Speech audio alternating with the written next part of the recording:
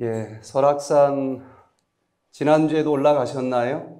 네. 화창한 날 설악산이 좋아요? 안개 낀 설악산이 좋아요? 우리 사진 작가님은 어떤 게 더 멋있게 나와요? 안개 낀 날이 더 멋있게 나오지요? 아, 인생이 그런 겁니다. 아, 그저 질병도 없고 고통도 없고 화창한 인생만 있으면 아마 지루해서 우울증 걸릴지도 몰라요. 근데 가끔 질병도 걸려보고 이 땅에선 한번 걸려보지 언제 걸려보겠어요. 그러나 그 안개에 다 파묻혀 있는 설악산은 별로 멋이 없습니다. 안개가 자욱하지만 그 속에서도 여전히 그 자리에 늠름하게 버티고 있는 그 모습이 얼마나 아름다운지 몰라요. 우리를 괴롭히는 수많은 근심, 걱정, 스트레스의 안개가 우리를 짓누르고 있는 그런 세상이지만 그럴지라도 그 자리, 우리의 마음 그대로 아, 자리 잡고 있으면서 여전히 하늘을 바라보면서 견딜 수 있는 그런 인생이 아마 하늘나라 가면은 화창한 인생만 살고 온 사람보다 더 멋있다고 칭찬받을 수 있을 것입니다. 그 모든 것 다 극복하시고 정복하시고 다스리고 아, 승리자 되시기를 간절히 바랍니다. 스트레스가 만병의 근원이라 흔히 그렇게 얘기를 하는데 그 스트레스 중에서도 어떤 스트레스가 가장 많은 질병들을 만드는 것처럼 생각이 됩니까? 뭐 스트레스도 종류가 여러 가지일 텐데 어떤 스트레스가 주변을 보니까 가장 많은 질병들을 아, 일으키는 것 같아요. 인간관계. 네, 인간관계에서 오는 스트레스. 그 중에서도 가장 큰 스트레스는 자다가도 그냥 그 이름만 떠올려지면 머리가 쭈삣쭈삣 쓰는 증오심, 미움. 그것도 지나가는 아저씨 미운 건 괜찮아요. 한 입을 덮고 사는 사람이 미우면 이 인간이 없어지지도 않으면서 평생 나에게 스트레스를 주는데 암을 비롯해서 심각한 질병들이 가까운 사람을 미워하는 미움을 품고 있을 때 생기는 것을 저는 지난 30년 동안 상담을 하면서 많이 많이 봤어요. 그래서 그것 때문에 암이 생겼다. 남편을 용서해라. 그런데 이게 쉽지 않습니다. 이 미움을 풀고 용서한다고 하는 것이 그렇게 쉽지 않아요. 그래서 아, 용서할 마음도 없고 흔히들 무슨 얘기를 하는가 하면 다 용서해 줘도 그 작자는 용서 못 해준대. 용서해 줄 마음도 없고 또 이제 며칠 말씀을 들으면서 아 미움 때문에 이 암이 생기는 거구나 하고 용서해야 되겠다. 아주 힘들게 결심을 하는데 결심한다고 해서 또 되는 게 아닙니다. 참 어려운 거예요. 용서처럼 어려운 게 없습니다. 예. 남의 사람이 용서하는 것은 쉬운 것처럼 보이지만 내가 용서하는 것은 그리 쉽지가 않아요. 사실은 수많은 종교 중에서 아, 이 기독교는 예, 용서의 종교입니다. 그럼에도 불구하고 용서를 제대로 이해한 사람들이 별로 없고 자기는 이해했다고 하지만 막상 자기 속에 미움이 있을 때는 아무 소용이 없는 무용지물의 이론인 것을 깨닫고 좌절하는 사람들이 참 많아요. 그리고 기독교의 용서 신학을 세상 사람들이 또 비웃기까지 합니다. 영화로까지 그런 주제가 다루어졌는데 미량, 아, 미량 아주 비밀스러운 또 햇변 양자. 그래서 아, 이 밀양, 아, 시크릿, 예, 뭐, 뭐, 뭐 라고 해서 sunshi, sunshine이라고 그랬어요? 라이시라고 그랬어요. Sunshine, Secret Sunshine. 2007년도 칸 영화제에서 여우주연상을 탄 아주 많이 알려진 영화인데 어쩌면은 기독교 신앙의 용서가 아주 웃기지도 않는다. 이렇게 조롱한 영화이기도 합니다. 예, 그래서 용서라고 하는 문제를 심각하게 생각해 볼 수 있는 그런 영화였는데 한 여인이 남편을 사별하고 이제 어린 아들 하나를 데리고 사는데 예, 남편의 고향 밀양으로 내려가서 이제 이 아들과 함께 사는 것이 마지막 소망이고 뭐 유일한 희망이겠죠. 그래도 그 서글픔을 이 아들과 함께 생활하면서 어찌 어찌 이기면서 삽니다. 아, 참으로 행복하게 아들과 함께 살아가는데 어느 날 유괴범이 이 아들을 잡아다가 죽여버렸어요. 그때 그 여인의 심정을 뭐라고 다 우리가 이해할 수 있겠어요. 하늘이 무너지는 것 같고 땅이 꺼지는 것 같지 않겠습니까? 망연자실하고 대성통곡을 하고 이게 사는 건지 죽은 건지 참으로 힘든 하루하루를 살다가 어떤 기독교인들의 아마 이 무슨 동네에서 모이는 구역반 모임 비슷한 데를 가게 된 것 같아요. 예, 거기에서 이 사람, 저 사람의 간증들을 듣고 예수님을 의지하면서 다시 한번 일어서라. 마음이 조금 풀어졌습니다. 그래서 교회까지 찾아가게 됐고, 이 기독교의 십자가 사랑과 용서의 신학을 배우면서 아, 대성통곡하는 회개의 경험을 합니다. 그리고 자기가 지은 죄 다 용서해 주신 십자가의 예수 그리스도 사랑을 깨달으면서 콧물, 눈물 흘리는 회심의 경험을 하고 아, 내가 이렇게 용서받고 끝날 일이 아니고 내 아들을 죽인 그 강도를 내가 용서해 줘야 이 용서가 마무리 되겠구나.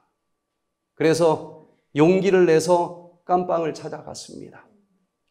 그 어린 아들을 죽이고 얼마나 얼마나 죄책감 속에 시달리면서 살아갈까?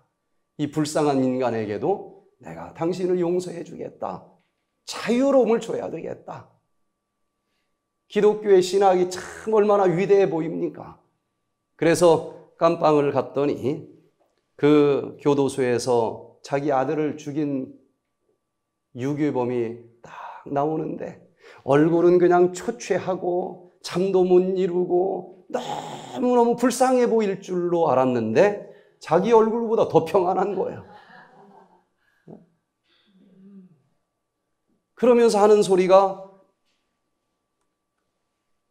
나도 교도소에서 십자가의 복음을 듣고 하나님의 용서를 이미 받았습니다. 내 마음은 아주 평안합니다. 자기 이미 용서받았다는 거예요. 예수님으로부터. 여러분들이 이때 기분이 어떨까요? 하나님이 자기 죄를 다 이미 용서해 주셔서 자기는 평안하다 그러고 진짜 평안해. 자기보다도 평안해. 돌아오는 길에 길가에 주저앉아 한없이 웁니다. 피해자인 내가 용서해 주지 않았는데 용서를 받았, 받았댄다, 그 사람이. 그러면서 아주 목에서 피가 나는 것 같은 절규의 외침을 합니다.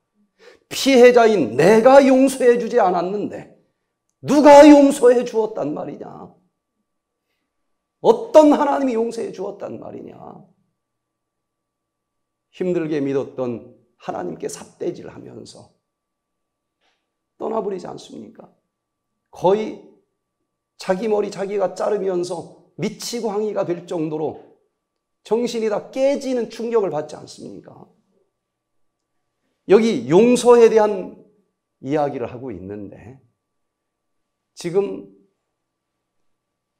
이 피해자가 용서해 주지도 않았는데 용서를 받았다고 하는 유괴범이 지금 용서에 대해서 잘못 알고 있는 거예요? 아니면 용서 받았다고 하는 그 모습을 보면서 하나님까지 버리고 거의 미치광이가 된 요 애기 엄마가 용서에 대해서 잘못 알고 있는 거예요? 누가 지금 잘못 용서를 이해하고 있는 겁니까? 아니면 기독교가 얘기하는 용서의 신학 자체가 이렇게 진짜 문제가 있는 겁니까? 둘 다 기독교의 용서 신학을 지금 체험하고 있는 건데 기독교의 용서 신학 자체가 잘못됐고 이 감독이 비웃는 것처럼 진짜 조롱거리 종교인지 아니면은 기독교의 용서 신학은 그게 아닌데 유괴범이 잘못 오해를 한 거예요. 이 아이 엄마가 잘못 오해를 한 거예요. 누가 지금 잘못 알고 있는 겁니까? 헷갈려요? 누가 잘못하고 있는 거예요? 유괴범. 아, 이 여인은 잘못이 없어요. 우리가 이 기독교의 용서 신학을 잘 이해하고 있다고 생각하지만 제대로 이해하고 있는 사람들이 사실은 없어요. 그래서 이 미움 때문에 지금 내가 죽어가고 있는데도 용서가 머리로는 아는데 가슴으로는 안 되는 것입니다. 그리고 용서 받았고 용서해 준다라고 생각하고 있지만 사실은 현실 앞에서는 아무 쓸모없는 용서 신학인 것을 보게 돼요. 그래서 이 백투에덴에 오는 분들은 그렇게 그렇게 안 된다라고 하는 그 용서가 이곳에서 이루어지면서 여러 가지 불치병들이 치료가 되는 모습을 보는데 오늘 이 시간에는 질병 치료를 위한 용서의 신학이라고 하는 제목으로 기독교에서 이야기하는 용서는 도대체 무엇인가? 이 두 사람은 그 중에서 어떤 곳에서 걸려 멈춰 있는가? 이것을 정확하게 이해를 하면 내가 지은 죄 용서 받을 수 있고 나에게 잘못한 사람 드디어 용서가 되고 그러면서 모든 막힌 담이 뚫어지면서 치료의 에너지들이 내 가슴 속으로 내 세포 속으로 들어오면서 놀라운 치유의 기적이 일어나는 것을 체험할 수 있을 것입니다. 용서에 대한 신학을 우리가 알기를 원하면 마태복음 18장 21절부터 35절을 살펴보면 해답을 찾을 수 있습니다. 우리 21절부터 같이 한번 읽어보도록 하겠습니다. 그때에 베드로가 나와 가로되 주여 형제가 내게 죄를 범하면은 몇 번이나 용서하여 주리이까? 일곱 번까지 하오리이까? 예수께서 가라사대 네게 이르노니 일곱 번뿐만 아니라 일흔 번씩 일곱 번이라도 할지니라. 이러므로 천국은 그 종들과 회개하려 하던 어떤 임금과 같으니 회개할 때에 1만 달란트 빚진 자 하나를 데려오매 갚을 것이 없는지라 주인이 명하여 그 몸과 처와 자식들과 모든 소유를 다 팔아 갚게 하라 한데 그 종이 엎드리어 절하며 가로되 내게 참으소서 다 갚으리이다 하거늘 그 종의 주인이 불쌍히 여겨 놓아 보내며 그 빚을 탐감하여 주었더니 그 종이 나가서 제게 백대례하는 빚진 동관 하나를 만나 붙들어 목을 잡고 가로되 빚을 갚으라 하매 그 동관이 엎드리어 간구하여 가로되 나를 참아 주소서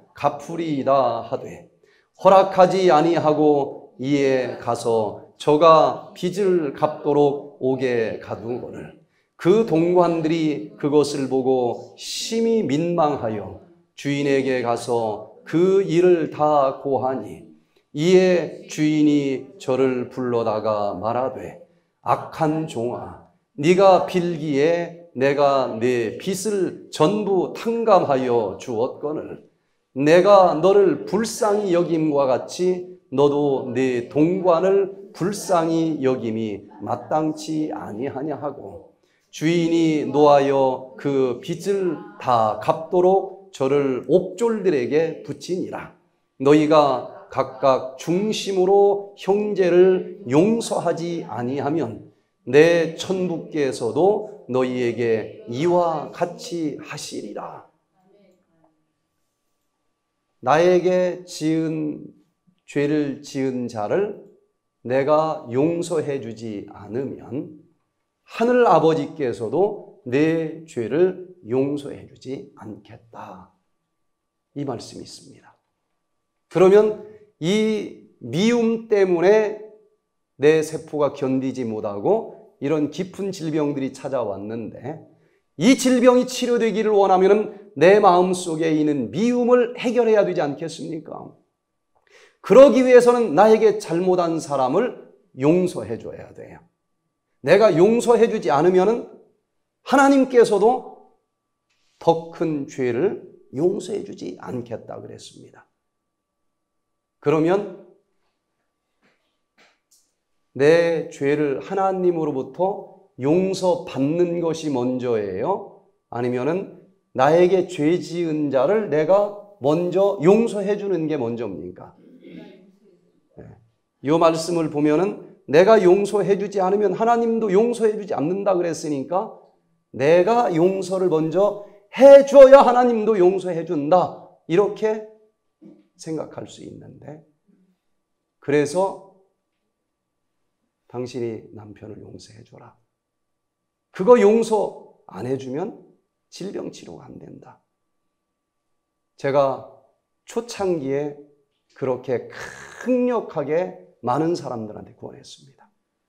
분명히 이런 정도 미움을 가지고 있으면 마음이 이렇게 응어리져 있으면 그 세포가 응어리진 암덩어리가 풀어질 수가 없겠다.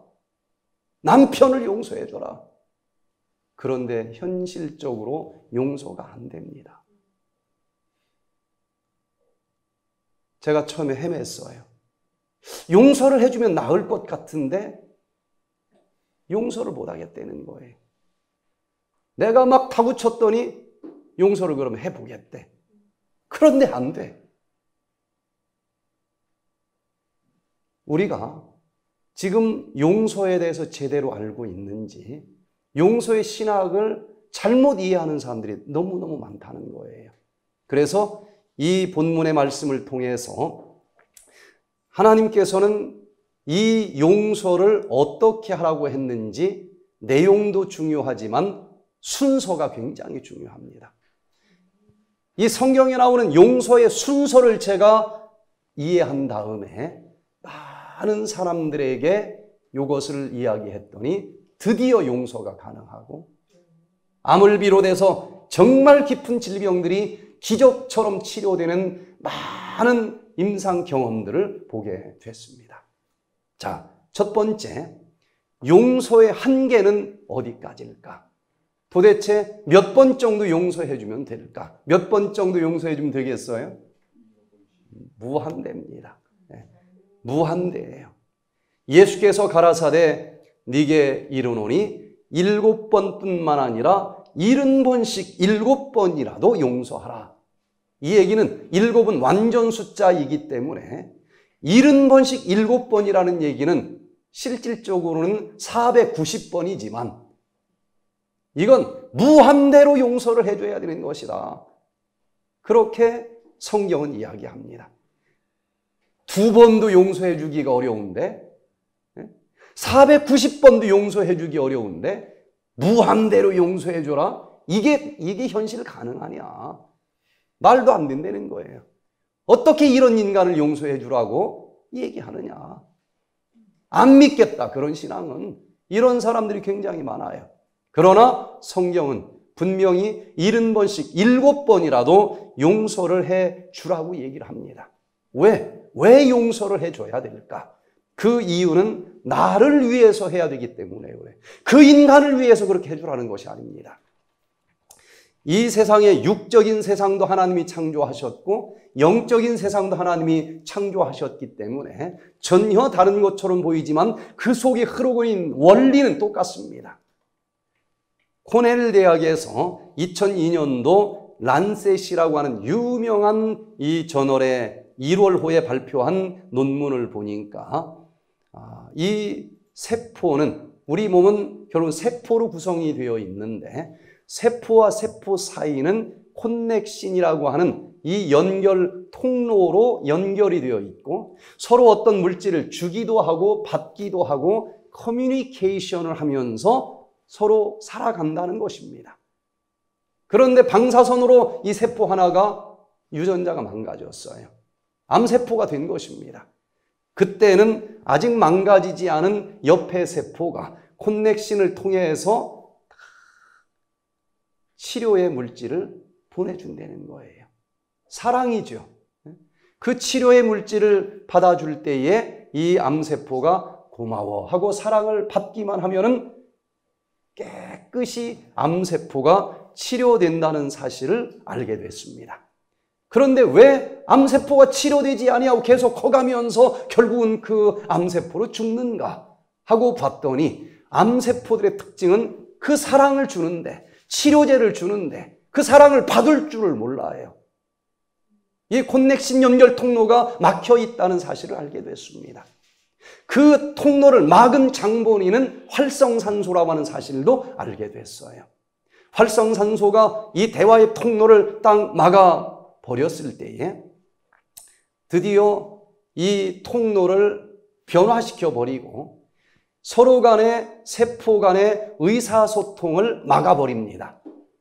그래서 치료제를 줄 수도 없고 받을 수도 없고 그래서 결국은 유전자가 망가진 이 세포는 때로는 암세포로 자랄 수도 있고 때로는 이것이 뇌신경세포에서 이루어질 때에 알츠하이머로 자랄 수도 있고 때로는 신경질환 또 이 파킨슨 질환 여러 종류의 질병으로 발생을 하게 되어 있다고 하는 거예요. 그런데 이 코넬 대학에서 실험을 한 것은 이렇게 통로가 이미 막혀서 암세포가 생겼을 때에 통로를 막은 활성산소를 싹 청소해주는 항산화제를 투여해보는 실험을 한 거예요. 사과 속에 있는 케르세틴이라고 하는 항산화제를 투여했더니 바로 막혀있던 이 대화의 통로, 콘넥션 통로를 싹 청소를 해주더라는 것입니다. 그러면서 치료제를 보내줬더니 드디어 대화의 통로가 뚫어지면서 그 치료제를 받아먹고 이 암세포가 다시 회복이 되면서 정상세포로 돌아온다는 것을 발표를 한 것입니다. 암세포가 이렇게 하면 예방이 될 수 있고 치료가 될 수 있고 알츠하이머가 다른 데서는 예방이 될 수 있다고 얘기하지만은 백투에덴에서는 이미 걸린 알츠하이머도 치료가 된 것까지도 확인을 합니다. 파킨슨이 예방이 된다라고 학계에는 발표하고 있지만은 백투에덴에서는 파킨슨이 예방뿐만 아니라 제대로 하면 치료까지 되더라. 결국은 미움이라고 하는 것은 그 사람과 나 사이의 대화의 통로가 막혔다는 얘기인데 왜 용서해 줘야 될까? 그 통로가 막혔을 때 결국은 내가 암세, 암세포가 자라고 내가 질병세포가 자라면서 내가 죽어가니까 나를 위해서라도 대화의 통로를 털고 미움을 풀고 서로 행복한 관계를 회복해야 된다는 것입니다. 그러니 내가 살기 위해서는 490번이 아니라 몇 번이라도 여기를 풀어야 되겠어요? 무한대로 풀어야 되는 것입니다. 뭐 용서해 줄 때에 그 사람을 대단히 내가 뭐 봐주는 것처럼 착각하지 마시고 누구를 위해서 용서를 하는 거예요? 나를 위해서 용서하는 것입니다. 무한대로라도 용서를 해줘야 돼요. 우리는 누구의 형상대로 만들어졌습니까? 네, 하나님의 형상대로. 그래서 내가 미워하는 그 사람은 그 사람도 누구의 형상대로 만들어졌어요? 하나님의 형상대로. 거기에 통로가 막히면은 나와 하나님과의 관계 통로도 막히게 되어 있는 거예요.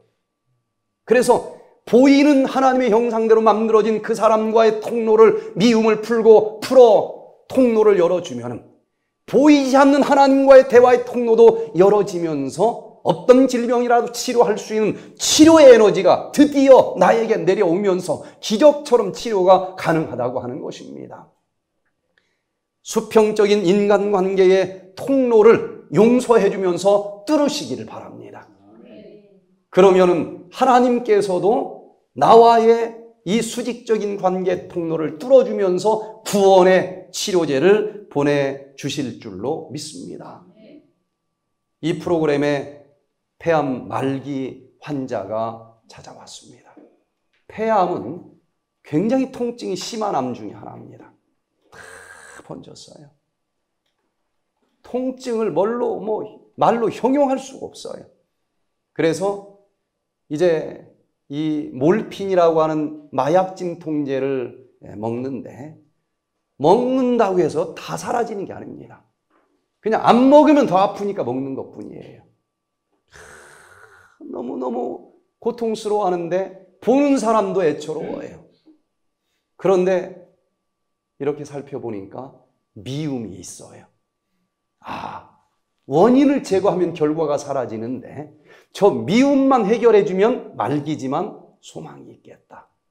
그래서 누구를 그렇게 미워합니까? 물어봤더니 형님을 그렇게 미워한다는 거예요. 아니, 왜 그렇게 미워합니까? 그랬더니 자기가 이제 시골에서 서울로 올라와서 자수성가를 했어요. 돈을 많이 벌었습니다. 그래서 그 돈에 그저 부스러기 돈 정도를 가지고 시골 고향에 선산을 하나 샀어요. 뭐 이건 진짜 부스러기에 지나지 않으니까 이거 등기를 낼 때 자기 이름은 넣지도 않고 그 많은 형제들 이름 다 넣기는 그렇고 그래서 제일 맏형님과 제일 막내 동생 두 사람 이름으로 등기를 했습니다. 그랬는데 인생이 또 만만치가 않지 않습니까? 세월이 지나다가 부도가 났어요. 그래서 가만히 보니까 그, 그 산이, 선산값이 어, 굉장히 오른 거예요. 그거 잠깐만 좀 에, 융자를 얻어서 요 어음을 맡기만 하면은 내가 다시 일어서면 뭐 풀어주면 되는 것 아니겠어요? 그래서 형님을 찾아가서 그거 맡기고 돈 조금만 빌립시다. 없대는 거야. 아니, 무슨 말이냐. 자기가 사준 건데 자기한테 한마디도 상의 안 하고 다 팔아먹어 버린 거예요. 그것만 있으면 다시 일어설 수 있는데 어떻게 내가 사준 것을 상의 한마디 없이 다 팔아먹을 수 있느냐. 그래가지고 이 사람이 부도가 나서 쫄딱 망했어요. 그러니까 이 사람 마음에는 쫄딱 망한 게 누구 때문에 망했다고 생각이 들어요? 형님 때문에 망했다는 거야. 그때부터 막 미움이 부글부글부글 커지기 시작을 하면서 이 마음의 미움의 응어리가 커지면은 제가 보니까 세포 덩어리가 생기면서 암 덩어리가 커지는 것을 봐요. 다 번진 겁니다. 그래서 쭉 설명을 했어요. 그러면 형님을 그렇게 미워하면은 지금이라도 조금 나올 돈이 있느냐? 형님도 알바니 다 됐대. 미워할 뿐이지 나올 때는 없대. 뭐 자기도 안 돼. 그러면 미워해서 도대체 남을 게 뭐가 있느냐? 당신 암덩어리만 커지지 않느냐? 제가 산수 공부를 좀 시켰어요. 미워해서 뭐 100만 원이라도 나올 때 있으면 미워해야지. 근데 100만 원도 나올 때가 없다는 거예요. 그럼 아무리 미워해도 나올 때는 없고 그 미움 때문에 암덩어리는 자꾸 커지고 왜 손해보는 짓을 하느냐? 그냥 용서하자. 그랬더니 그때 제가 들은 얘기가 다 용서해줘도 그 작자는 용서 못 해줍니다. 아, 액센트가 너무 세요. 더 이상 얘기할 수가 없어요. 그래도 좀 어떻게 살려보려고 그 다음에 또 들어갔더니 벽에다가 형 이름 쓰고 죽일로. 천장에다가도 죽일로. 뭐 밥상 밑에다가도 죽일 놈. 도배를 해놨어, 도배를. 자다가도 벌떡 일어나서 눈만 마주치는 데마다 다 죽일 놈이라고 써놨어요. 아무리 얘기해도 자기 이대로 죽어도 이 인간 용서 못한대. 용서 못하더라고요. 어떻게 됐을까요? 죽었어요. 그럼 뭐 어떻게 할 수 없어.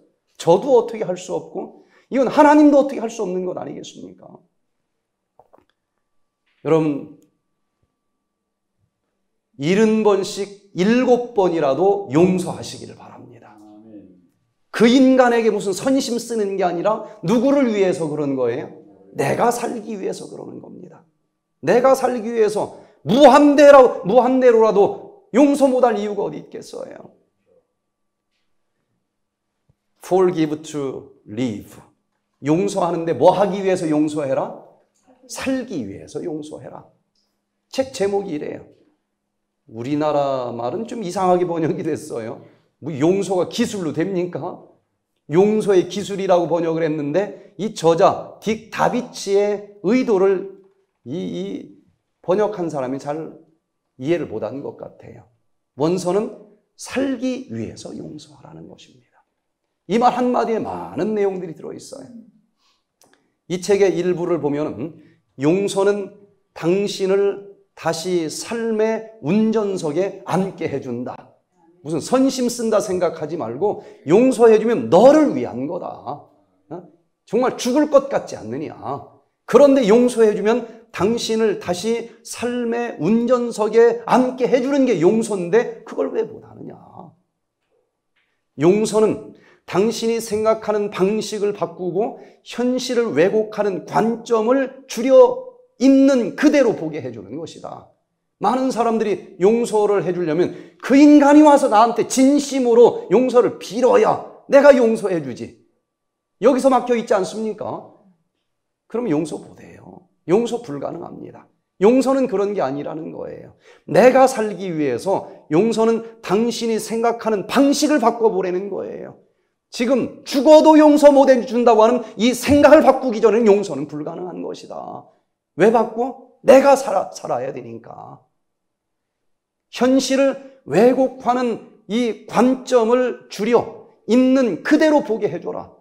아니, 아무리 미워해도 나올 게 없는데. 왜 미워해? 다시 생각해 보려는 겁니다. 냉정하게. 용서는 틀을 다시 짜서 당신 삶의 이야기를 바꿀 수 있게 해준다. 저 사람이 어떻게 해서 용서해 주는 것이 아니라 당신이 용서해 주는 것인데 당신 인생의 틀을 바꾸어서 이걸로 그냥 숨이 답답하고 죽을 것 같고 이대로 끝나는 것이 아니고 내 인생을 오히려 이 미움이라고 하는 엄청난 에너지를 그 사람 죽이고 나 죽이는 에너지로 사용하지 말고 요거 운전대만 바꾸면은 이 엄청난 에너지가 나를 다시 살게 해주는 에너지로 바뀔 수 있는 거다. 미움이라고 하는 건 이건 엄청난 에너지입니다. 사람을 죽일 정도의 엄청난 에너지예요. 요걸 방향만 바꿔서 틀만 다시 짜면 세상을 다 에너지 공급할 수 있는 화력발전소를 만들 수도 있는 그런 에너지인 것입니다. 그러니 일흔 번씩 일곱 번이라도 용서해줘야 되지 않겠습니까? 무엇보다도 용서는 당신을 치료해준다. 저 사람을 뭐 내가 용서해 준다. 이 생각이 잘못된 거예요. 그 사람은 그 모양 그대로 있을지라도 나를 위해서 용서해 줘야 된다. 나를 치료해 준다. 이 제목을 딱 보면서 저는 아, 이 사람은 책 팔아먹으려고 쓴 사람이 아니구나. 용서가 뭔지를 체험한 사람이구나. 그렇지 않으면 이 제목을 붙일 수가 없을 거예요. 그래, 어떤 사람인가 하고 보니까 심리학자이자 상담사인데 30년 넘게 행동 건강학을 연구해 왔어요. 그런데 10년 정도 충성을 다하면서 일을 한 직장에서 어느 날 양의 한마디 없이 딱 잘렸어.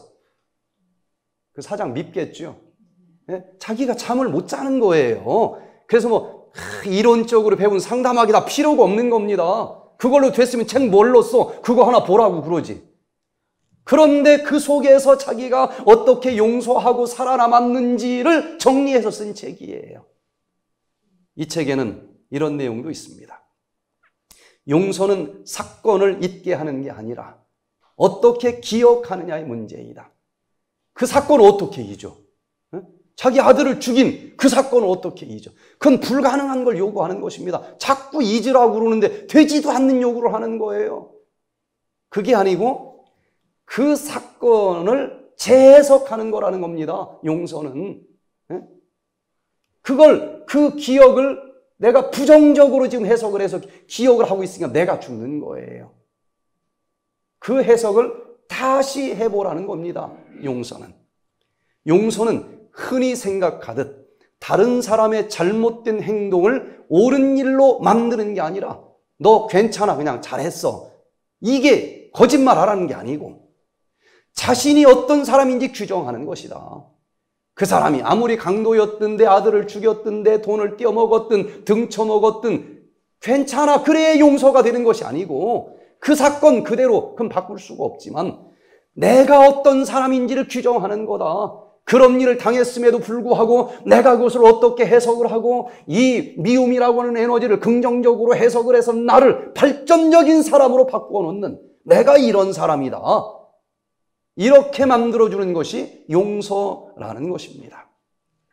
용서는 인과 관계의 법칙을 무시하는 것이 아니라 복수하고 안갚음을 하고 싶다는 자신의 욕구를 풀어주는 것이다. 내 이 미움을 풀어주는 것이 용서라는 거예요. 용서란 현재의 평온을 회복하고 미래의 희망과 삶의 목적을 되살리기 위해 과거에 받은 분노와 상처에 새로운 틀을 씌우는 작업이다. 재해석인 것입니다. 그리고 용서가 무엇인지를 가장 잘 아시는 하나님의 방법대로 단추를 하나씩 둘씩 꿰 나가다 보면은 용서가 가능하고 그때 내 마음이 치료되고 질병이 치료될 수 있다는 거예요. 제가 이 용서의 신학을 깨닫게 되면서부터 많은 사람들이 기적처럼 치료되는 모습을 봤습니다. 에덴 병원에 있을 때였어요. 임금자 씨가 왔습니다. 자궁암인데 수술을 했고 항암 치료를 받았는데 또 재발이 됐고 유방암, 뼈암 다 번진 상태에서 왔어요. 밥도 잘 먹지 못하고 통증은 너무너무 심하고 그런데 또 이분을 또 만나보니 미움이 있어요.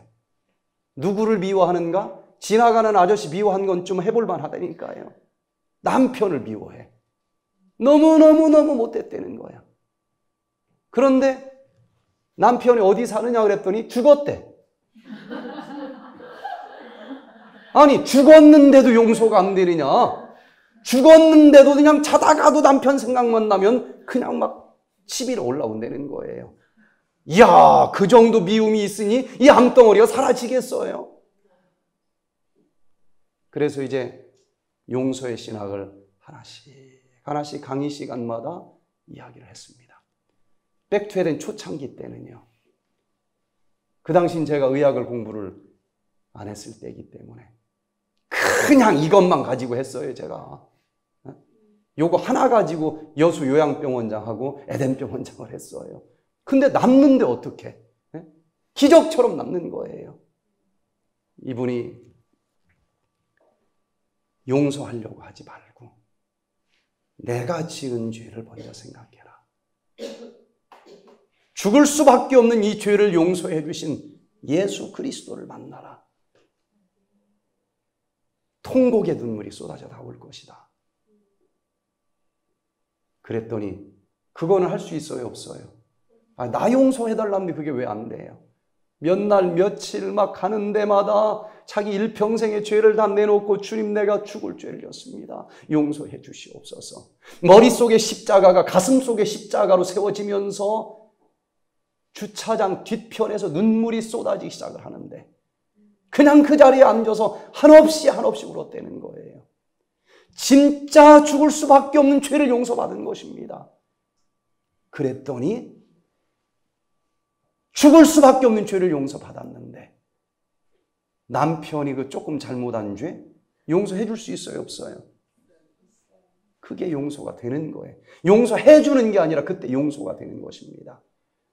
그러면서 용서받고 용서해 줬더니 놀랍게 마음이 평안해져요. 밤에 잠이 잘 오는 것입니다. 그때부터 암덩어리가 줄어들기 시작을 하는 거예요. 몰핀을 끊어도 통증이 느껴지질 않는 것입니다. 그렇게 2개월을 지나고 나서 원자력 병원에 가서 검사를 했더니 이게 웬일이냐? 다 번졌던 암이 하나도 보이질 않는다는 것입니다. 자기는 이런 일을 본 적이 없대. 너무 말기였으니까. 자기 믿어지지 않으니까 미안하지만 그냥 요 CT 촬영 가지고는 자기가 믿을 수가 없으니까 조직 검사 좀 하게 허락을 해줘라. 그래서 한 점 떼어놓고 왔다는 거예요. 그리고 일주일 뒤에 가서 딱 다시 또 의사 선생님이 조직 검사까지 한 결과를 보더니 참으로 희한한 일인데 암덩어리가 하나도 보이지 않는다는 것입니다. 이런 엄청난 치료의 에너지가 저 하늘에서 내려올 수 있는데 이 통로를 막고 있지는 않는 것인지 여러분 다시 한번 뒤돌아보시기를 바랍니다. 보이는 하나님의 형상의 마음과의 통로를 먼저 용서해주고 뚫으시기를 바랍니다. 그러면 보이지 않는 하나님과의 대화의 통로로 뚫어지면서 이 엄청난 치료의 에너지가 쏟아져 나올 수 있다는 것을 여러분들의 몸과 마음으로 체험해 보시기를 바랍니다.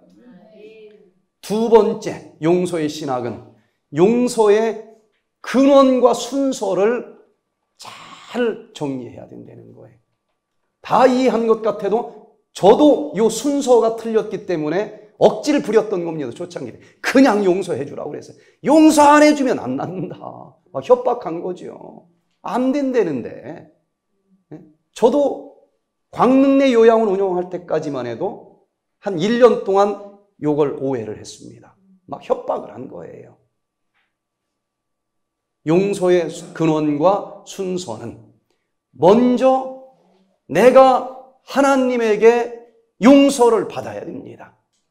죽을 수밖에 없는 죄를 졌음에도 불구하고 나를 사랑해 주시는 그 엄청난 사랑에 녹아져야 돼요. 그 용서를 먼저 받아야만 됩니다. 하늘 아버지로부터 먼저 그분께서 죽을 수밖에 없는데 큰 이 죄를 용서해 주시는 큰 사랑을 받으시기를 바랍니다.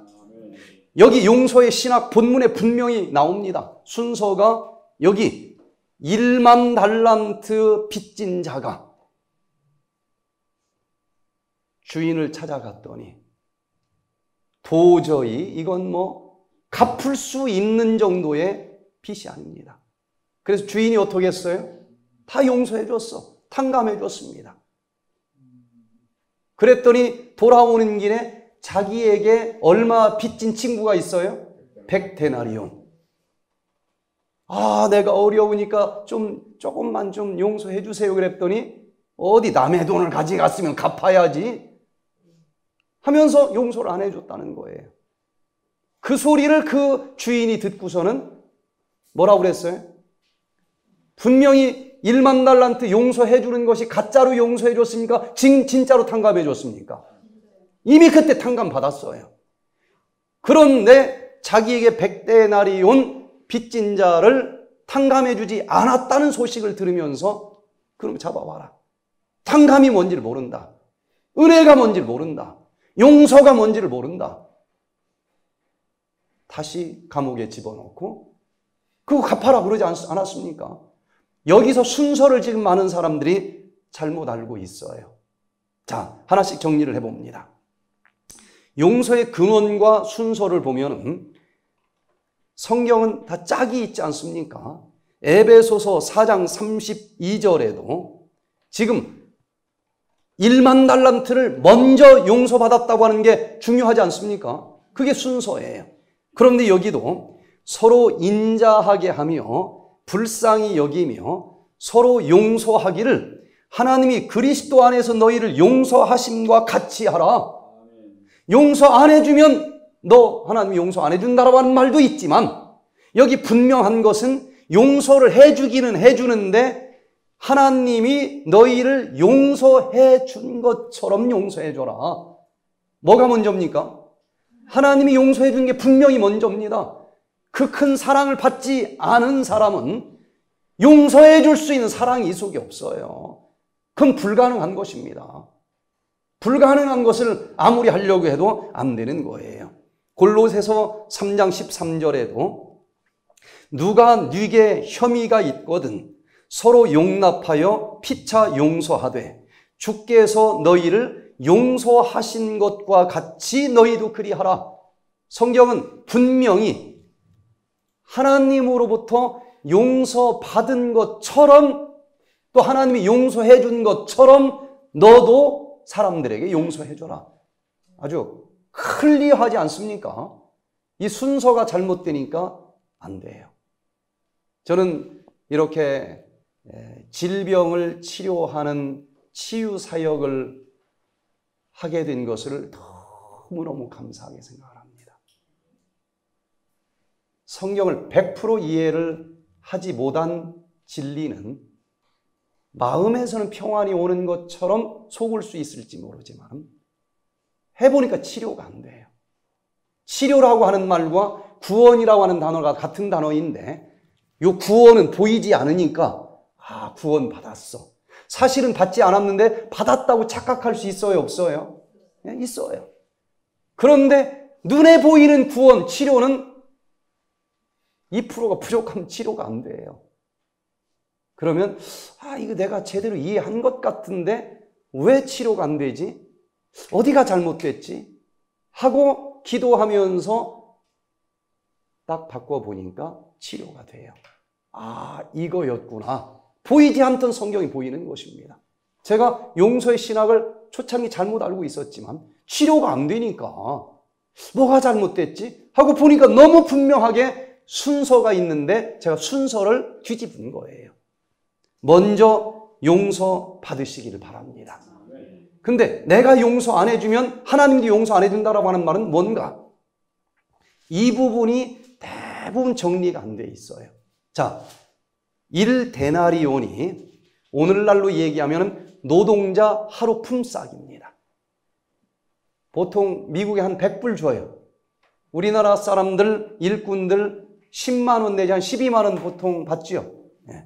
그런데 1만 달란트를 지금 빚졌다는 겁니다. 이 사람이. 1만 달란트는 6천만 데나리온입니다. 오늘날 시가로 따져야만 이게 실감이 가서 계산을 해보는 거예요. 도대체 얼마를 빚을 졌는가? 60억 달러를 빚을 진 거예요. 한국 돈으로는 7조 2천억 원을 빚을 진 겁니다. 어디 은행 해보신 분도 이렇게 해보니까 실감이 나오죠. 이 사람이 이거 갚을 수 있겠어요? 월급 다 평생 다 갖다 바쳐도 이건 계산이 안 되는 거예요. 갚을 수 있는 게 아닙니다. 그래서 그냥 탕감해 줄게. 그렇게 해준 거 아니겠어요? 우리가 죄를 졌는데 이걸 갚아야 될 죄의 싹은 생명입니다. 죽어야 돼. 네? 내가 뭘 벌고 뭐 어떻게 또 투자를 잘하면 갚을 수 있고 이럴 정도의 내용이 아니지 않습니까? 내가 죽어야 돼. 그런데 예수님께서 탕감해 준 겁니다. 너 살으라는 거예요. 1만 달란트를 탕감받았다는 얘기는 내가 지은 죄를 용서해 주시고 구원받으라고 하는 얘기와 똑같은 거 아니겠습니까? 그런데 돌아오는 길에 백대나리온 나한테 꿔간 사람을 용서해 주지 않았는데 얼마인가면은 백데나리온은 아, 100불씩 곱하기 100 하니까 얼마예요? 1만 달란트 빚을 졌다는 거예요. 오늘 우리나라 돈으로 하면 한 1200만 원 정도 빚을 진 거예요. 아니 7조 2천억 원을 용서받은 사랑과 은혜를 받았으면은 진짜 이 사랑과 은혜가 뭔지를 안 사람이라고 하면은 똑같은 케이스니까 나에게 1200만 원 빚진 사람도 야야야 너 그냥 그냥 두어라. 이래야 그 주인의 사랑을 제대로 받은 것 아니겠습니까? 1200만 원을 아, 이, 이 용서 안 해주는 것을 보니까 주인은 사랑을 줬지만 이 사람은 주인의 사랑을 받은 거예요? 못 받은 거예요? 못 받은 거예요. 그래서 주인은 줬지만 진짜 사랑이라고 하는 것은 이 사람이 받지 못했다라고 하는 결론이 나오는 것입니다. 그래서 내가 죽을 수밖에 없는 죄를 하나님으로부터 용서받았는데 하나님은 용서 그 순간 해줬어요? 안 해줬어요? 해줬어요. 그러나 나에게 남편이 잘못한 죄는 그 목숨 바쳐야 될 정도로 죄는 아니지 않습니까? 네? 근데 그것을 용서 못 해주는 것을 보니까 하나님은 내가 잘못했습니다 했을 때 용서해 줬는데 그 사랑을 내가 받은 거예요, 못 받은 거예요? 못 받은 겁니다. 구원은 사랑이라고 하는 에너지로 받는 거예요. 내가 회개할 때 분명히 그 사랑을 하나님은 줬는데 나는 못 받은 겁니다. 그래서 결론적으로 하나님은 용서해 줬지만 내가 나에게 지, 죄 지은 자를 용서 못 해주면은 내가 그 사랑 못 받았다라고 하는 검증이 나온다는 얘기예요. 줬지만 내가 못 받았기 때문에 이 사람은 용서 결국 못 받은 겁니다. 내가 용서 못 해주면은 용서 못 해준다. 하나님이 그 말이 거짓말이 아니라 내가 먼저 용서를 받았는데 하나님이 용서를 줬는데 내가 용서를 받지 못했다라고 하는 얘기를 그렇게 써놓을 수밖에 없었다는 것입니다. 이해가 되십니까? 예. 그래서 우리가 지난 2000년 동안 사람이 이 발명한 발명품 중에서 가장 위대한 발명품은 무엇일까? 세계적으로 가장 유명하다고 하는 140명에게 설문지를 돌린 적이 있어요. 그랬더니 비행기가 제일 위대한 발명품이다. 그렇게 답한 사람도 있고 컴퓨터다, 숫자다, 시계다, 피임약이다고 대답한 사람도 있어요. 네? 화장품이다. 뭐 다들 일리가 있, 있는 것 같은데 그 중에서 이 미국의 유명한 작가인 더글라스 러시코프는 치유계가 가장 위대한 발명품인 것 같다. 이렇게 답을 했어요. 컴퓨터에서 뭐 치다 보면 잘못 쓸 때 있어요? 없어요? 근데 딜리트 키 없으면 이게 도대체 어떻게 됐겠느냐. 글을 쓰다가 잘못 썼을 때 지우개가 없으면 도대체가 이거 어떻게 살겠느냐. 지우개가 지난 2000년 역사 중에서 가장 위대한 발명품이다. 작가다운 답을 줬어요. 마찬가지로 우리가 일평생 살아오면서 수많은 붉은 죄악의 발자국을 남겼지만 예수님께서는 우주에서 가장 큰 지우개를 가지고 계신 것을 인해서 감사드리시기를 바랍니다. 내가 죽을 수밖에 없는 죄를 졌다 할지라도 내가 먼저 찾아가 주님 잘못했습니다. 회개하기만 하면 십자가의 보혈로 인, 그, 그런 죄를 지은 적도 없는 것처럼 깨끗이 씻어 주시고 지워 주시고 용서해 주시는 그 사랑을 받으시기를 바랍니다. 그 엄청난 사랑을 받았으면 나에게 잘못한 사람도 내가 용서해 줄게. 몇 번까지? 무한대로 용서해 줘야 그 사랑 진짜 받았다고 하는 검증이 끝나는 것 아니겠습니까? 여호와께서 말씀하시되 오라 우리가 서로 변론하자 너희 죄가 주홍 같을지라도 눈과 같이 희어질 것이요 진홍같이 붉을지라도 양털같이 되리라. 주홍처럼 붉은 죄도 십자가의 보혈로 싹 지웠더니 양털처럼 하얀 의인으로 변화 될 수 있다라고 하는 놀라운 믿음을 가지시기를 바랍니다. 제가 이 용서의 신학을 사실은 광릉 내 요양원에 유방암 말기 환자로 오신 요 정순영 씨 때문에 제가 깨달았어요. 성경만 일평생 보고는 죽을 때까지도 못 깨달을 수도 있었을는지도 몰라요. 이분이 유방암이 완전히 커졌는데 왜 그랬는지 수술을 안 했어요. 이게 막 완전히 터졌어. 주먹만하게 터져서 막 피고름이 나오는데 숯가루 대봤자 소용이 없어요. 병원을 그때서 이제 아프니까 갔더니 이렇게 무식한 여자 어디 있느냐. 혼만 나고 온 거예요. 방법이 없다는 거야, 다 먼저서. 그래서 이제 광릉 내 처음 오픈했을 때 왔는데, 아, 이걸 보니까 뭐 뭐라고 할 수가 없어요. 근데 상담을 해보니까 남편을 미워하는데 보통 미움이 아니야. 그래서, 아, 요 미움을 풀면 해결이 되겠다. 그래서 남편을 용서해 주십시오. 그랬더니 다 용서해 줘도 그 작자는 용서 못 해줍니다. 그래서 제가 이게 용서가 뭔지를 모르니까 또 어떡합니까? 그러면 그냥 유방암 가지고 살아야지. 잔인한 말을 하나 던진 거예요. 아, 그랬더니 이분이 진짜 살고 싶은가 봐. 그날부터 남편을 용서하게 해달라. 광릉내 그 수목원 뒷산에 올라가서 기도하고 기도하고 막 기도를 했던 모양이에요. 4일 뒤에 저를 찾아왔습니다. 제가 드디어 제 남편 용서해 주기로 했습니다.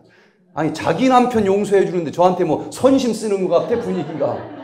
아, 그래도 이게 얼마나 위대한 일입니까? 아, 잘하셨습니다. 그랬더니 그때는 사무실이 컨테이너였어요. 거기에 그 이 옛날 예, 이, 이 전화기가 한 대 있었는데 전화기를 돌리더라고요. 남편한테 내가 당신 용서해 주기로 했어. 요, 요 얘기를 하려고 전화를 거는 거예요. 근데 딱 전화벨이 이제 울리는데 그때 전화기가 어떤 땐 저쪽 사람 얘기가 막 크게 들리는 날이 가끔 있잖아요. 어떤 때는 그래요. 아, 그날따라 그 남편 목소리가 제 귀에도 똑똑히 들릴 정도로 크게 들리는데 남편이 여보세요 하고 받는 겁니다. 저는 그때 사람이 그렇게 순간적으로 칠면유처럼 얼굴 색깔이 변한다는 걸 처음 봤어요. 이 사람이 갑자기 얼굴이 빨개지더니 당신 목소리만 들어도 속이 뒤틀려 그러더니 전화기를 그냥 꽉 놓는데 제가 전화기 깨졌는가 뒤집어 봤어요. 깜짝 놀래가지고 아니 지금 남편 용서해 준다고 전화 건 거 아닙니까? 그랬더니 한숨을 푹 쉬면서 그러게. 그게 그 안 돼서 몇 날 며칠 제발 그 인간 용서해 달라고 기도를 해서 이제 될것 같아서 전화를 걸었는데 그 인간 목소리 듣는 순간 속이 뒤집히는데 아, 우는 거예요. 어떻게 하면 좋아요? 안 돼요. 용서가 안 돼요. 제가 그때 깨달았습니다. 아, 인간은 용서해 줄 수 있는 능력이 없는 거구나. 내가 무리한 걸 요구한 거였구나. 그때 깨달았어요. 그래서 이제 남편 용서해 달라는 기도 하지 마십시다. 되지도 않는 기도 왜 합니까? 대신 기도를 바꾸어서 내가 지은 죄가 얼마나 엄청난 것인지 느끼게 해달라 기도하시고 이 죄 때문에 내가 죽어야 되는데 예수님께서 십자가에서 얼마나 엄청난 고통을 겪으셨는지 그 십자가의 사랑이 느껴지게 해달라. 바꿔서 기도를 합시다. 그 기도는 할 수 있어요, 없어요? 그 다음날 수목원 이렇게 제가 등산을 하는데 이분이 혼자 올라가고 있어요. 몸무게 한 70kg 정도 육중했습니다. 그 산 속에서 아무도 없는데 혼자 산을 올라가는 폼이 좀 이상해요. 이렇게 꺼부중하게 어깨를 이렇게 좀 숙이고 양쪽 팔을 쫙 벌리고 올라가는 거예요. 폼이 하도 이상해서 아니 지금 뭐 하십니까? 그랬더니 십자가가 하도 안 느껴져서 지금 십자가 짊어지고 올라가는 중이래. 아무도 없는데 그렇게 몸부림을 치는 거예요. 그래서 제가 되겠습니다. 두드리면 두드리면 열어 주신다 그랬고 달라, 달라 그럼 주시겠다. 약속하셨는데 성령께서 함께 하실 것입니다. 계속 기도하십시오. 3일 뒤에 눈물, 콧물이 범벅이 돼가지고 산에서 내려와요. 마이크 좀 달라고 해서 줬더니 여러 사람 앞에서 나는 남편만 못된 놈인 줄 알고 살았다는 거예요. 그런데 예수님 앞에 내 죄를 다 아뢰겠다고 마음먹었더니 성령께서 이 모든 걸 다 끄집어내 주시는데 진짜 죽을 수밖에 없는 죄인인데 이 죄를 위해서 예수님께서 십자가에서 그 고통 겪으시면서 돌아가 주신 사랑이 느껴지고 주홍처럼 붉은 죄가 양털처럼 하얗게 씻어 주셨다라고 하는 그 사랑이 눈물 콧물과 함께 느껴지는데 그때 딱 남편이 떠올려지더래요. 옛날에는 자다가도 남편 딱 떠올려지면 막 도리도리를 한 거예요. 근데 이렇게 못난 나를 아직도 부인이라고 호적책에 이름 남겨준 것만으로도 감사하더래. 용서는 무슨 용서? 그냥 감사하더래, 감사하더래. 이 유방암 걸린 이, 이 여자가 뭐가 좋다고 아직도 이혼 안 하고 버리지 않은 것만으로도 감사하다는 거예요. 이제는 집에 가면 꼭 껴안고 사랑하면서 살겠다고 얘기를 해요. 마음의 응어리가 풀어진 그날부터 유방의 암덩어리가 풀어지는 걸 봤습니다. 보이는 암이기 때문에 이게 줄어들어요. 그러면서 상처가 아무는 모습을 봤습니다. 3개월 뒤에 잠실 어느 곳에서 이 프로그램을 하는데 이분이 왔어요. 와, 좀 어떻습니까? 그랬더니 주먹만한 암덩어리가 줄어들어 가지고 콩알만한 거 하나밖에 안 잡힌다는 거예요. 여러분 먼저 예수님 앞에 일평생의 죄를 고하면서 용서 받으시기를 바랍니다. 예수님께서 얼마나 엄청난 대가를 지불하면서 내 죄를 용서해 주셨는지 십자가 앞에 회개 눈물을 흘리시기를 바랍니다. 그런데 이게 진짜 예수님의 사랑을 내가 체험한 것인지 진짜 예수님으로부터 용서 받으신 것인지 마지막 날도 아니야 그러면 참 안 되겠죠. 검증을 해봐야 되지 않겠습니까? 이저 통장 돈 보낼 때 뭐 한 몇천 원짜리야 그냥 꾹 누르지만 1억 4천만 원. 그러면 동그라미 하나 더 쳤는지 들 쳤는지 다시 봐요 안 봐요? 안 보고 그냥 누르는 사람 있습니까? 다시 보잖아요. 아니 내가 하늘나라 가느냐 못 가느냐 용서를 진짜 받았느냐 나만 받았다고 속고 있느냐 이거 검증해봐야 되지 않겠습니까? 마지막 날 가서 너 잘못 잘못 받았어 그러면 안 되지 않습니까?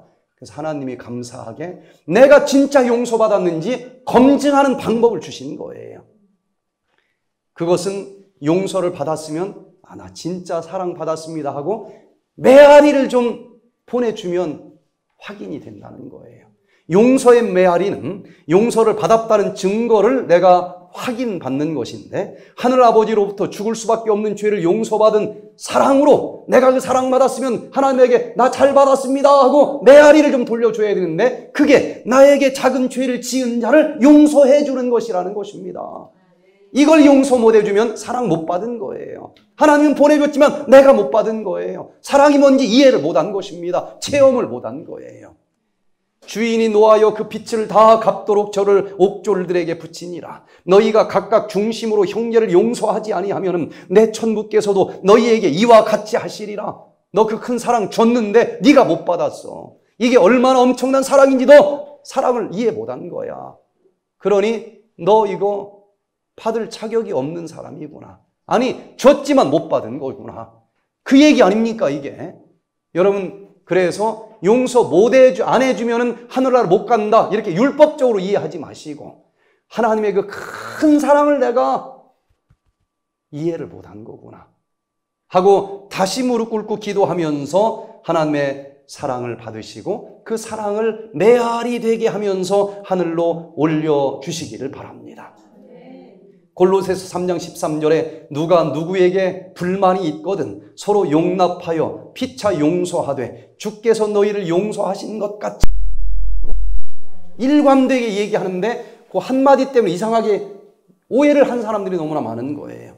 서서 기도할 때에 아무에게도 혐의가 있거든 용서하라. 그리하여야 하늘에 계신 너희 아버지께서도 너희 허물을 사하여 주시리라. 요거 잘못 알면은 내가 용서 못 해주면 또 용서 못 받는다라고 율법적인 하나님을 아는 거예요. 용서해 주신 것처럼 용서 못 해주는 것 보니까 네가 아직도 사랑을 받지 못했구나. 이 얘기를 하는 것입니다. 너희가 사람의 잘못을 용서하면 너희 하늘 아버지께서도 너희 잘못을 용서하시려니와 너희가 사람의 잘못을 용서하지 아니하면 너희 아버지께서도 너희 잘못을 용서하지 아니하시리라. 이제 이 순서가 분명히 정리가 됩니까?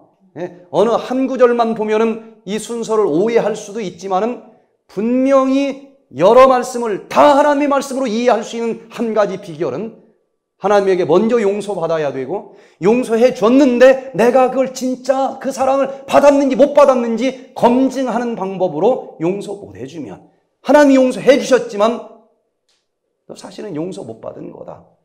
이렇게 이해할 때에 용서에 대한 모든 성경 구절이 하나도 충돌되지 않고 이해가 가능하다고 하는 것입니다. 하나님께서 내가 너를 용서해 주마 하고 용서라고 하는 사랑의 에너지를 보내줬으면 여기 보이는 하나님의 형상에게 나도 용서해 줄게. 요 용서의 메아리를 보내시면서 그 용서를 내 세포 속에까지 받아들이시고 그 사랑이라고 하는 에너지와 함께 그 망가진 세포까지 치료될 수 있는 놀라운 축복을 받으시기를 바랍니다. 이게 이론이 아니에요. 이 땅에서도 이 용서를 실천하면서 사는 그리스도인들이 있습니다. 펜실베니아 지역에 암만교라고 하는 이 크리스찬들이 살고 있는데 현대 문명은 다 거부합니다. 차도 안 타요. 걸어 다니든지 마차 만 탑니다. 옷도 안 사 입어. 자기들이 농사진 걸로 다 짜가지고 옷을 다 입습니다. 농작물로 자기가 농사진 것도 전도도 자식만 많이 낳습니다. 근데 자식들한테는 확실히 몸으로 보여주는 이 전도가 되는 거예요. 근데 이 세상에서 가장 빠른 속도로 성장하는 교단입니다.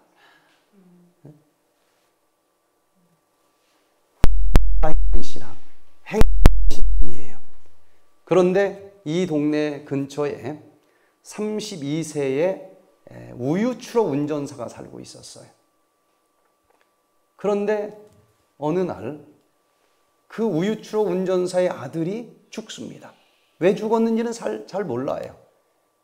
근데 이 사람은 하나님을 원망하게 됐어요. 네? 왜내 아들을 죽게 놔뒀느냐.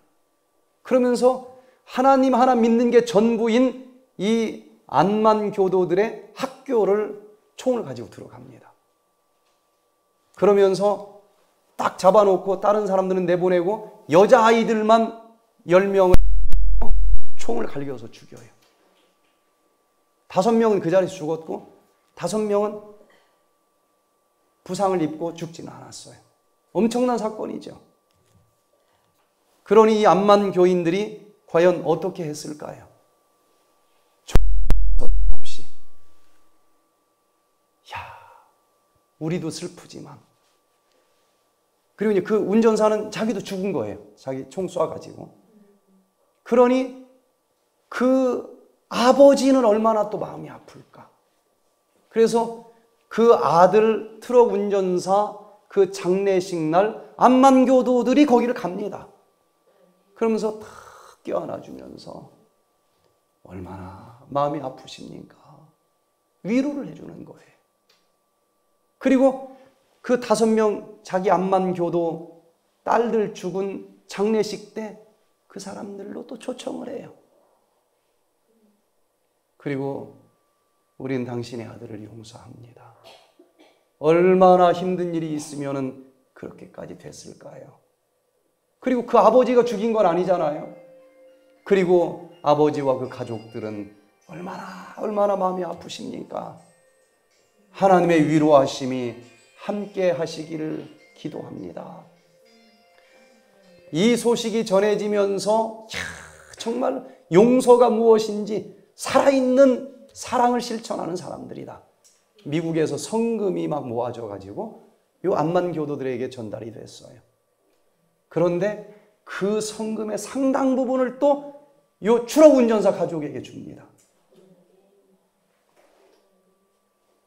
그때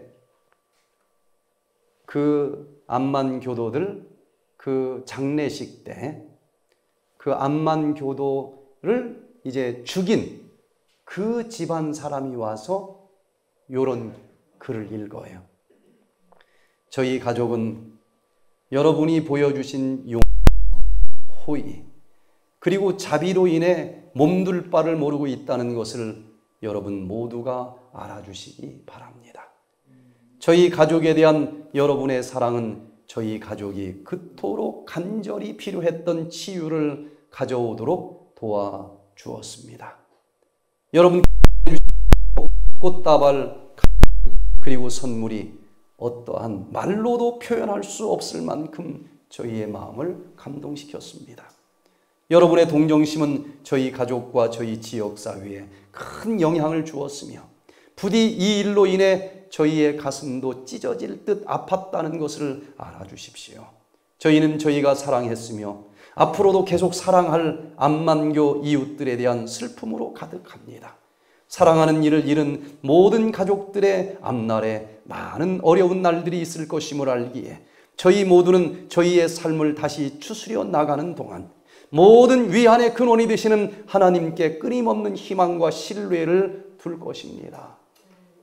이때 하나도 아니고 다섯씩이나 죽인 그 사람들을 미워했다고 하면 도대체 남는 게 무엇이었을까?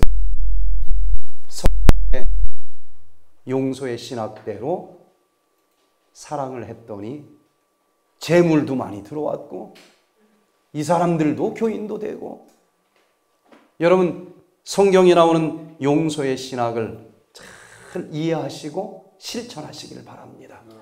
너희 원수를 사랑하며 너희를 한 자를 위하여 기도하라. 그러면 이 밀양이라고 하는 이 영화가 아주 고단수적으로 기독교의 신학을 조롱하고 비웃었는데 그렇다고 하면은 그냥 많은 사람들이 기독교의 구원은 싸구려 구원이라는 거예요.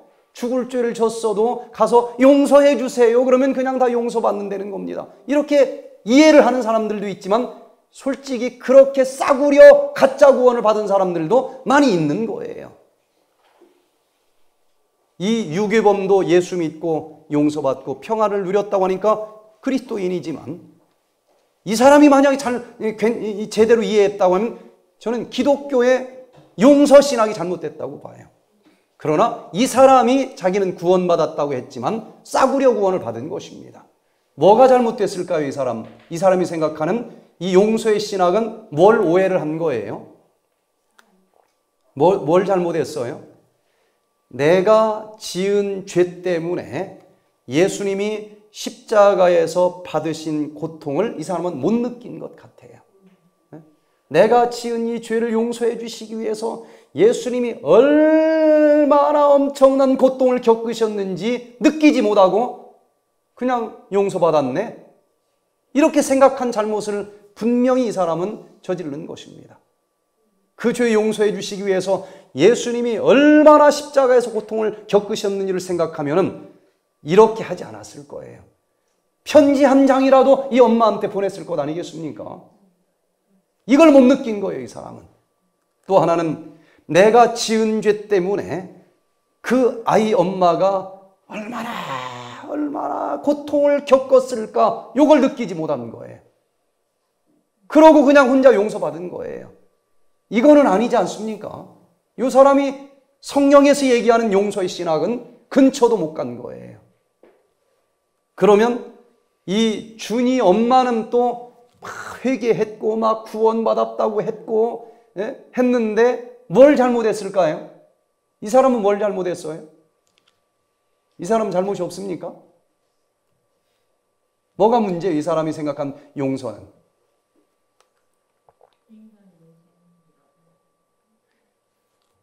내가 용서해 줬는데 누가 용서해 줘? 하고 하나님에게서 삿대질하고 떠났죠. 죄를 용서해 주는 분은 하나님이지 내가 아니라는 사실을 이 사람 모르는 거예요. 내가 뭔데 용서를 해 줍니까? 죄를 용서해 주시는 분은 하나님인 것입니다. 그거를 지금 이 사람은 오해를 하고 있고 또 하나는 죽을 수밖에 없는 나의 죄를 용서해 주신 하나님의 사랑이 얼마나 큰지를 모르는 거예요. 내가 회개했고 나를 용서해 주신 예수님을 만났다고 했지만 진짜 그 사랑을 받았다고 하면은 요 사람이 지금 잘못 하나님을 오해했고 그러면서 잘못 난 벌써 용서받았다라고 할지라도 하나님까지 손가락질하면서 등지지는 않았을 거예요. 그 사람이 하나님을 잘못 오해한 거하고 자기가 하나님으로부터 구원받은 거 무슨 관계가 있겠어요? 그 강도가 지금 잘못하고 있는 거죠. 파렴치한 놈 아니, 아니겠습니까? 그럴지라도 하나님을 자기가 올바로 이해했다고 하면은 그것 때문에 하나님까지 손가락질하고 내가 용서 안 해줬는데 어떻게 하나님이 먼저 용서해 줍니까? 이런 잘못을 저지르지는 않았을 거예요. 여러분, 용서가 무엇인지를 꼭 체험할 수 있길 바랍니다. 정동희 씨가 당뇨 말기 증상으로 여수 요양병원에 있을 때 찾아왔는데 칠흑처럼 안 보여요. 밥을 떠다 줘도 여기 콩이 있고 여기 깍두기 있어 얘기해 줘야 될 정도로 안 보여요. 그런데 이분 마음 속에도 엄청난 미움이 있는데 요 정도 질병이 생겼으면 누구를 미워했을까요? 네? 남편 정도 미워해야 이렇게 됩니다. 죽어도 용서 못 해준대, 여기도. 그런데 말씀을 듣고 들으면서 일주일 동안 눈물로 눈물로 말씀을 듣더니 남편을 용서해 주기를 했다는 거예요. 그러면서 혈당이 내려가고 500 이상 이분도 올라가던 분이에요. 시작됐던 합병증이 사라지면서 칠흑처럼 어두웠던 눈이 환하게 치료된 모습을 봤습니다. 25년이 지난 어느 날 제가 이분을 만난 적이 있어요. 멀게 말을 합니다. 여러분, 가장 큰 질병의 원인은 스트레스이고, 스트레스 중에서도 미움이라고 하는 스트레스 좀 큰 게 없어요. 용서하시길 바랍니다. 용서는 자유롭게 해주는 것이다. 그것은 원한을 부여잡고 분노를 품으며 치유되지 않은 상처를 던하는데 사용되었던 에너지를 더 나은 곳에 사용하도록 하는 것이다. 미움이라고 하는 에너지를 더 나은 곳으로 방향을 진정한 용서 가능할 수 있고 그로 인해서 우리가 항상 가지고 있었던 힘의 재발견, 다른 사람들과 우리 자신을 이해하고 받아들이는 무한한 능력을 되찾을 수 있기를 간절히 바랍니다. 그래서 머지않아 주님께서 천천만만의 천사들과 함께 구름 타고 다시 오시는 그날 영혼뿐만 아니라 우리의 몸까지 온전히 치료되어서 아멘 주 예수여 어서 오시옵소서. 그분 영접할 수 있는 우리 모두가 되시기를 간절히 바라면서 말씀을 마치겠습니다.